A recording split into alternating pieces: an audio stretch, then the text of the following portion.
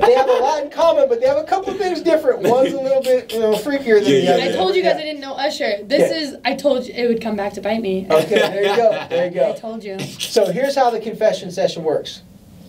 All you do is you think about something that you currently are like, it's weighing heavy on your chest right mm-hmm. now, weighing heavy on your mind right now. But here's the hard part about it.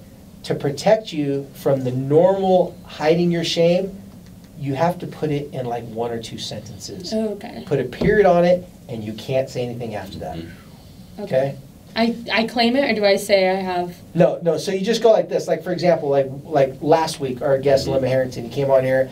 We are talking about his addictions, his struggles, his ups and downs. And when it came to confession session, he just said, "My confession is that right now in my life, um, I'm not listening to my wife enough. I'm not paying attention to her Mm. enough, and I'm not like really putting her as a priority enough.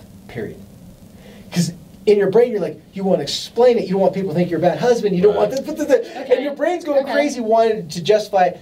But if you just put it in one sentence, and or just a couple sentences, then in the mm-hmm. after party, we'll talk about the experience. Okay. We'll just put it out there. So, what's something right now that you can just be like, mic drop. What's up? Okay.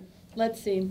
Oh man, this is. This And is and by the way, if you go yeah. on and you kind of like go on, Mhm. I'll tell I'll let you do it, Okay. and then I'll say now say it in one sentence. So Okay. Thank you. He got you back. Um, all right, let's try this. So, I am afraid I won't live up to my own expectations of myself. Period.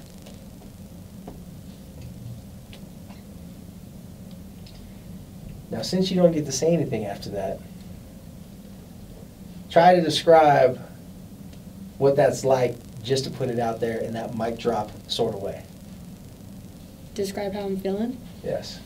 Uh, I feel like I have a lump in my stomach a little bit. I feel pretty heavy right now.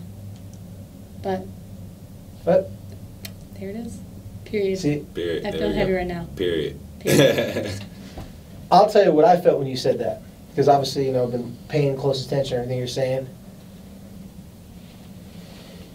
You bridged the gap.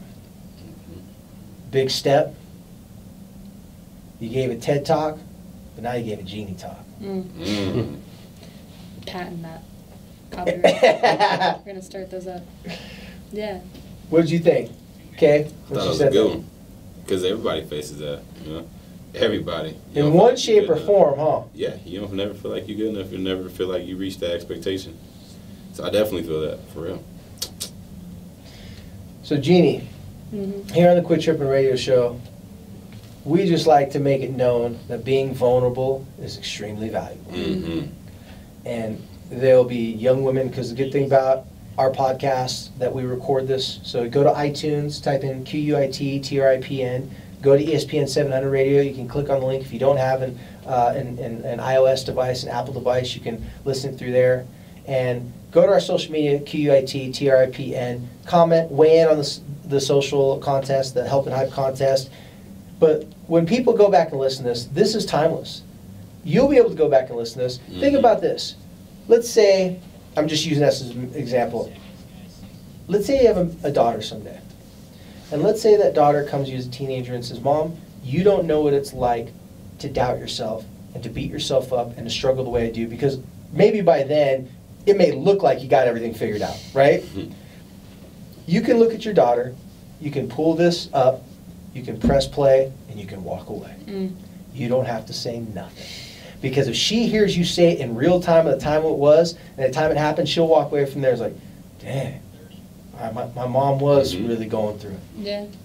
So, quit tripping after party. Visit the podcast. Look for after party. We're going to continue this discussion. This is the reaction after the quit tripping after party with our special guest Jeannie Woller. We're going to get her information about how she felt about the uh, radio show tonight. Hear Kenneth Scott weigh in on it. Me weigh in on a little bit more. Quit Tripping Radio Show, ESPN 700. We'll be taking a break for Valentine's weekend. We'll be back with Chelsea Hightower, former Dances with the Star judge, or not judge, but coach and dancer. Quit Tripping Radio Show, we out. You didn't, yeah, that was good. That was good. And the battery lasted for the confession session. What battery? The one that goes through the I'm camera. I'm. Smart ass. So just take a quick little bit, and then we'll Yeah. just start talking and A just bust bit, it out. A little bit of a break there, a little bit of a. Hold on. So it went through the whole show. The No, oh, mm-mm, of course oh, I'm about no. to say.